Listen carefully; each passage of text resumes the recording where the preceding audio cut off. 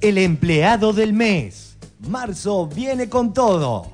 Tras la nueva derrota que sufrió el monopolio, veamos el curioso editorial de hoy de Edgardo Alfano. Hoy en el Senado impone su criterio el kirchnerismo hasta que la oposición tenga los 37 votos. Pero el oficialismo tampoco tiene la mayoría, tampoco tiene los 37, por eso está trabado. Por eso dicen, vamos a avanzar en temas menores, leyes menores. Van a tratar leyes menores, menores no para los que les interesan las leyes, menores a comparación de estas que crean conflicto, menores a comparación de estas que crean conflicto. Según Alfano, las leyes importantes no son las que interesan a la población, sino las que generan conflicto.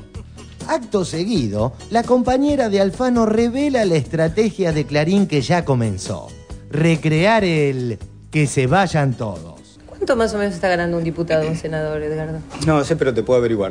Son esas buenas preguntas que uno no tiene respuesta, pero... Por arriba de 20 mil.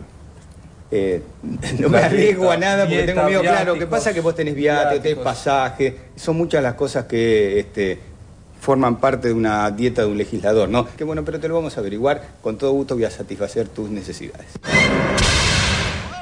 Pero por suerte la gente se está avivando y aquel festejo del 2008 los deschaba. Muy buenas noches, bienvenidos. Esto es Telenoche. Buenas noches, Santo. Buenas noches para todos. Los títulos de Telenoche.